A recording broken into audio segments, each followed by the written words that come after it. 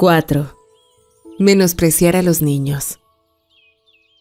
La madre debiera ofrecer a sus niños lo mejor de ella. Supongamos que una madre pudiera ofender a su hijo. ¿Cómo es posible que lo menospreciara de tal forma? El diccionario define menospreciar como desestimar y tener en poco. Y de hecho, por mucho que nos deleitemos en los niños, los adultos tenemos una opinión demasiado baja de ellos. Si la madre no mirara en menos a su hijo, ¿lo dejaría acaso en compañía de una persona sin preparación durante sus primeros años de vida, cuando toda su naturaleza, tal como el lente sensible del fotógrafo, está recibiendo impresiones indelebles a cada momento?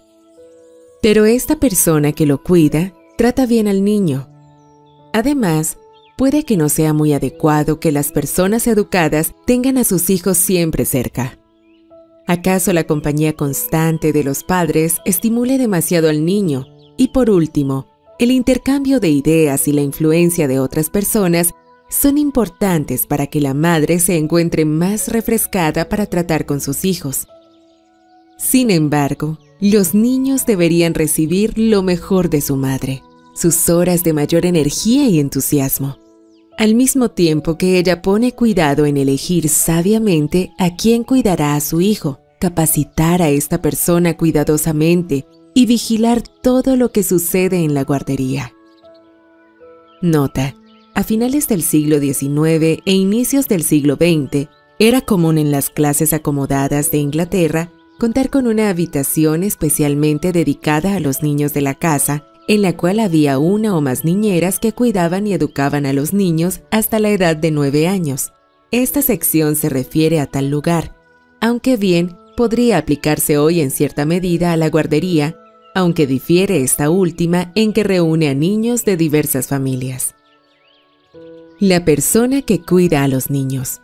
Las meras faltas de educación y descomedimientos de la cuidadora causan un daño que puede durar mucho en los tiernos niños. Así, muchos de ellos dejan la guardería con la conciencia moral embotada y en una condición de aislamiento de su Padre Celestial que podría durarles toda la vida. El sentido moral del niño es extremadamente rápido. Sus ojos y oídos están en total alerta al más mínimo acto o palabra de injusticia, engaño o falsedad. Su cuidadora dice, no te acuso si te portas bien, y el niño aprende que es posible ocultar cosas de su madre, quien para él debiera ser como Dios, sabiendo todo el bien y el mal que él hace.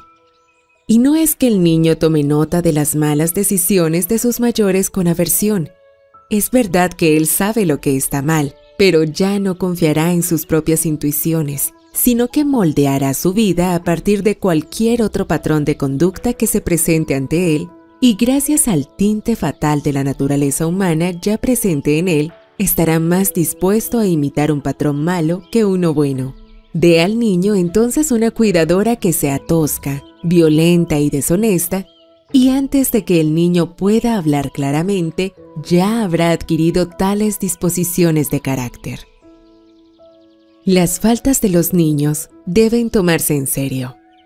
Una de las muchas maneras en que los padres tienden a tener una opinión demasiado baja de sus hijos es en relación con sus faltas. Un pequeño da muestra de un feo rasgo del carácter. Es codicioso y devora la porción de golosinas de su hermana, así como la suya. Es vengativo y está listo para morder o luchar contra la mano que lo ofende. Dice una mentira tal como que no tocó la bolsa de golosinas ni el tarro de las galletas. Y la madre pospone el día malo. Ella sabe que en algún momento debe lidiar con el niño por esas ofensas, pero mientras tanto dice, bueno, no importa por esta vez, es muy pequeño y ya aprenderá a portarse mejor. Pero no se da a la situación la importancia que debiera tener. ¿Qué días felices garantizaría la madre tanto para ella como para sus hijos si ella misma se apostara como un vigía en el grifo que da rienda suelta a las aguas? Si la madre resolviera estar consciente de que el niño siempre comete el mal estando en conocimiento de su mal comportamiento, entonces verá que él no es demasiado pequeño para corregir o prevenir su falta. lidie con el niño en su primera falta. Una mirada seria es suficiente para condenar al pequeño transgresor, pero déjelo continuar hasta que se forme un hábito de hacer el mal y la cura será lenta. En cuyo caso la madre no tendrá ninguna posibilidad hasta que haya formado en él un hábito contrario correcto. Reírse de los malos temperamentos y dejarlos pasar porque los niños son pequeños equivale a sembrar al viento.